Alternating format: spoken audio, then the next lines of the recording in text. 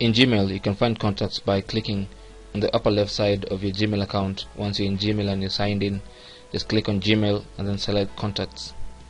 This will open for you all your Gmail contacts or your Google contacts in a list.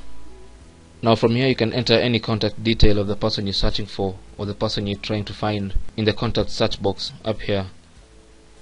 You can enter a name or an email address or a note you had entered about that contact anything you know about that contact you can just enter it here and you'll see matching results as you type. An example of a name is just typing maybe and before you even finish typing you should see uh, a result. And you can click on the results to see uh, the full contact. So you can use prefixes so you can use a first or a last name a phone number anything you want. Uh, you can use maybe uh, the company name if you had saved the company name as part of the contact details you can just start typing uh, the company name of that particular contact. For example just type uh,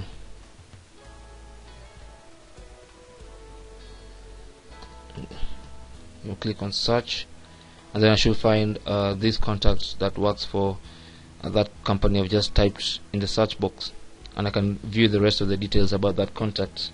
I can also use a phone number uh, for example if I can remember the phone number of that contact I can just start typing here the phone number.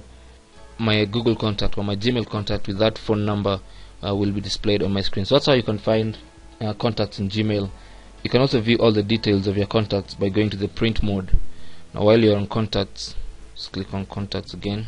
While you're on contacts just click on this more drop down menu and then click on print and then select which contacts you want to be printed. You can select all contacts and then click on print.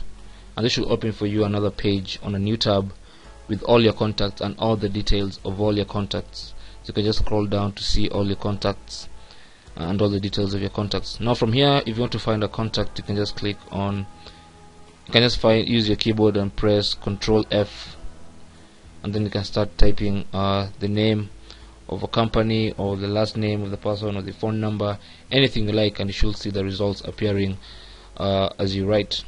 So basically that's how you can find contacts in Gmail. Uh, thank you for watching. You can ask any question you have in the comments below this video. And don't forget to subscribe. My name is Chris from webproeducation.org and I'll see you guys soon